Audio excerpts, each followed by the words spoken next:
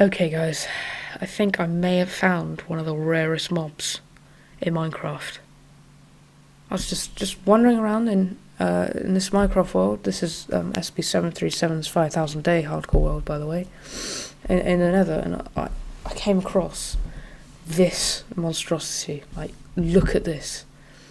It's three baby baby piglins, by the looks of it, riding one baby hoglin. What? What is that? That is. I'm. I'm just lost for words.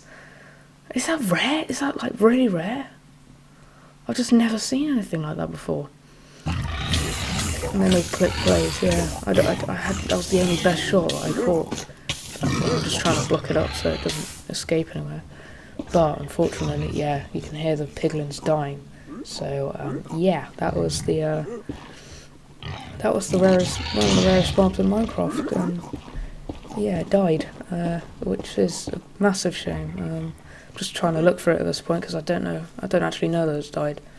But uh, yeah, that was that was quite quite annoying that it died actually. But yeah, you could see the hoglin down there, the baby hoglin. But yeah, uh, that was um, really annoyed at myself for not keeping it captive and stuff. Yeah, I'm very angry killed both the hoglins and the baby hoglin, which was the mob that was so rare. Um, there's so many baby piglins here as well. It's ridiculous, but yeah. Fortunately, um, didn't manage to, uh, yeah, didn't manage to keep it this time.